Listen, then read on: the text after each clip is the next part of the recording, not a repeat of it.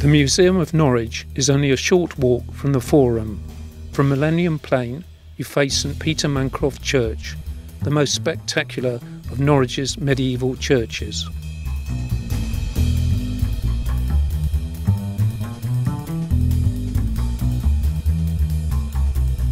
You are now entering the lanes, the old shopping streets of Norwich.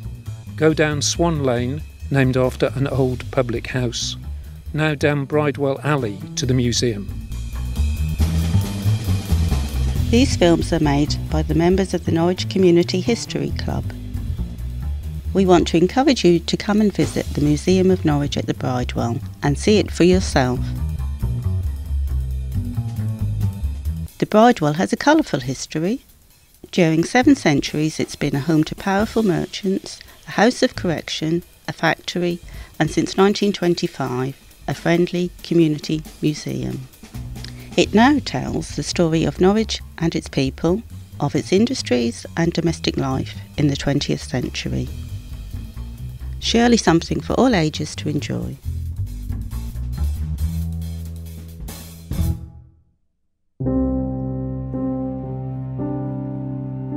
The Museum of Norwich is all about people.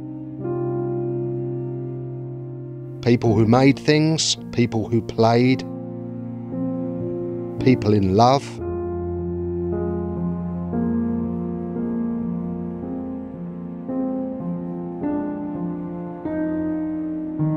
People who broke the rules.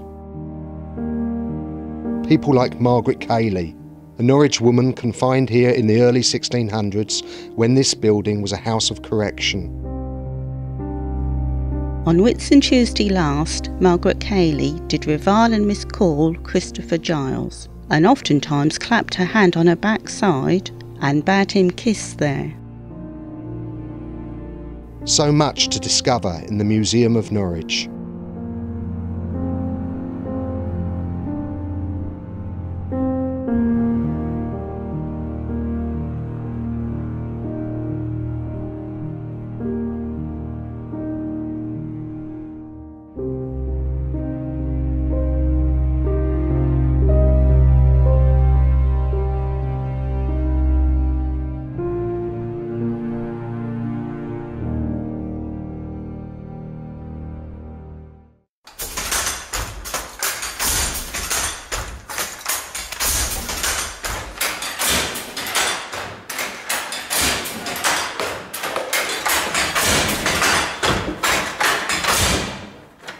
My name is Jenny Keynes. I'm the Curator of Community History here at the Museum of Norwich at the Bridewell. And I was the project officer during the redevelopment phase from 2009 to when we reopened in 2012. So when we reopened, obviously we were loud and proud. We were saying we were about Norwich, we're about what made Norwich really wealthy and fabulously famous for its Norwich cloth, which was exported all over the world.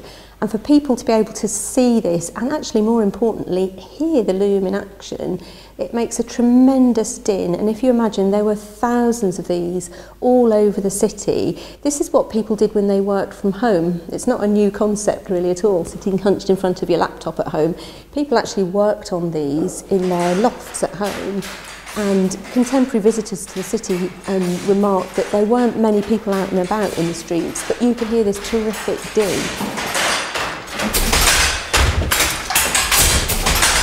we've been able to train up four or five specialist weavers to actually work it and to demonstrate it to members of the public on special days and for um, group tours that who we, who we book in. And the reaction has been amazing. People are absolutely stunned to see this fabulous piece of machinery in action.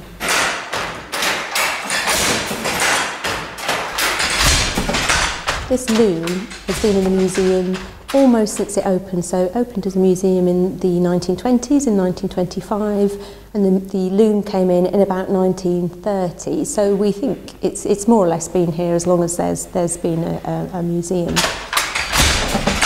We took the decision to um, invest in actually restoring the loom so that we could have it weaving again and just show people actually how the loom works.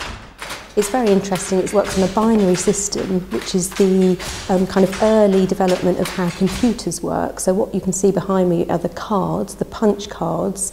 that is the pattern and that's telling the, the needles how to rise and fall and create the pattern.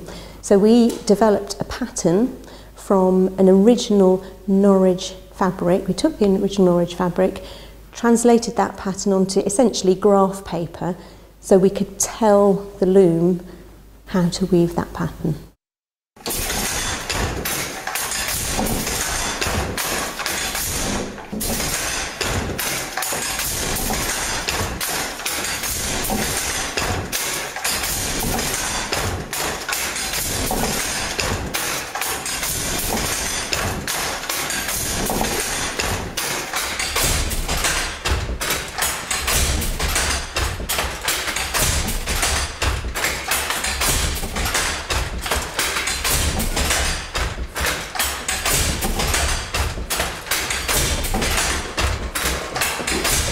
Maybe one of your ancestors was a weaver.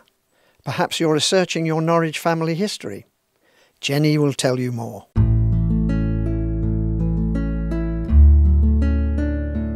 I had been researching my family history and discovered that from the early 1700s my family had worked as village shoemakers.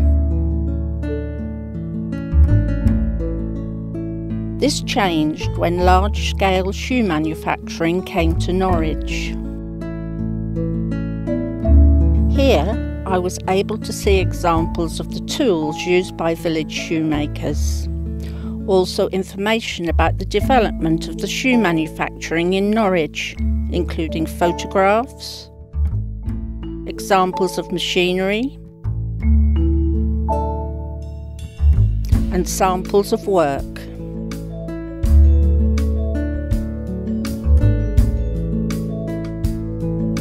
I remember my grandmother wearing a pair of shoes like this, laced up right up to the ankles. My visit gave me enhanced insight into the lives of my ancestors and how the coming of the shoe factories superseded their skills, not only destroying their craft, but also their livelihoods.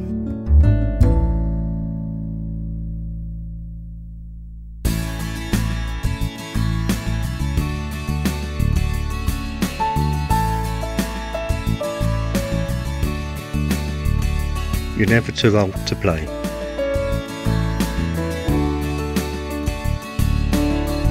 Every adult was a child once. My mum played with toys like this.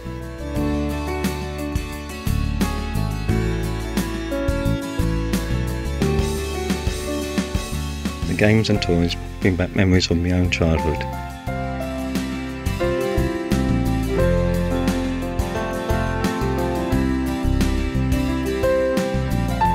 Museum like this reminds us that we're never too old to play.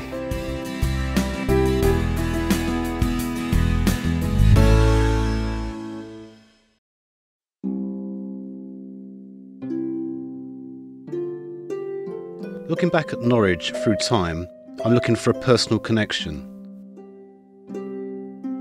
Something that links my own experiences with those of the past. As a son of a grocer, this feels so familiar, but also so beautifully different and romantic.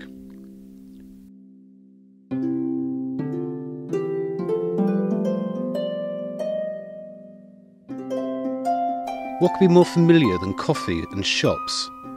But I found that the coffee shop was once shockingly new and caused a social stir. A place of culture, with its own code of conduct, but also controversy and even violence.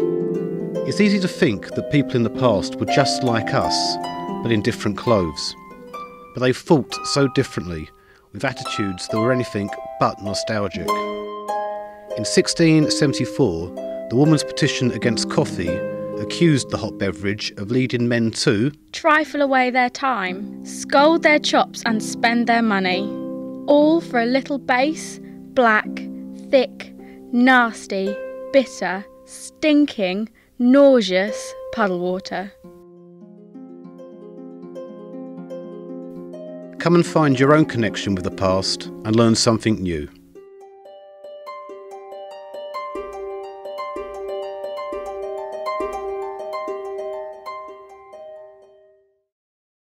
And what of the museum's visitors?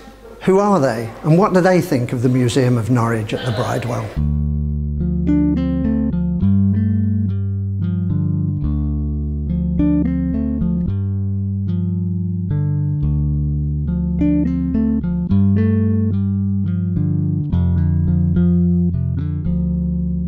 You tell me what, what sort of um, uh, customer do you get on the whole? Are they passing trade or um, tourists predominantly? It can be split 50-50 really. There's a lot of people who are local who've never been to the museum before and didn't even know it was here. But there's also the other half who are visiting Norwich and they get the leaflets and they come in. So it's quite a mixture really. It can be generally I think half and half I'd say. Yeah. Do you get feedback at the time from the uh, from the visitors? A lot of people enjoy it so, do enjoy it so much, they, um, they come down the stairs and they instantly tell you how much they've enjoyed it.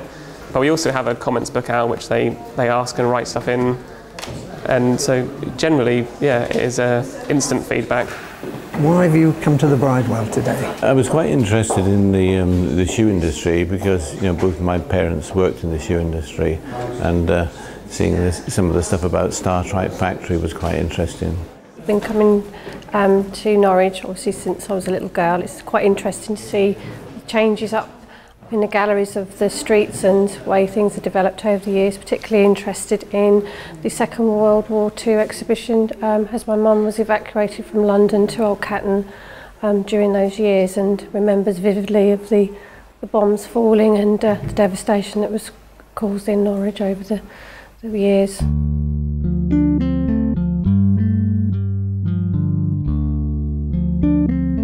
Witty, colourful, unexpected, and fascinating displays in this iconic historic building provide something for all ages to enjoy. This is the Museum of Norwich at the Bridewell, part of our city's history through seven centuries and a true people's museum.